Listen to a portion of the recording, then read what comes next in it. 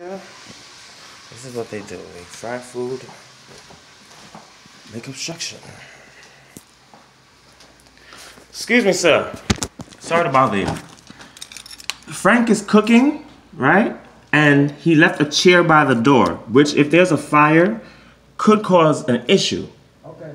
Okay, so somebody needs to tell him to move it now before the, I call the fire department and they have to come and deal with this issue because he's cooking something right now and Okay. There's a fire. That's going to be a problem. Okay, sir? Okay. Thank you very much. Okay. Excuse me? Okay, I'll let's have to call the fire, um, fire department. Thank you, sir.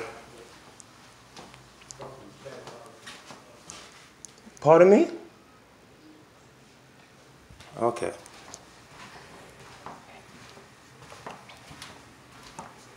Once again, take care of this. And now he's cooking, leaving obstruction right there. There's a fire, this will be the problem.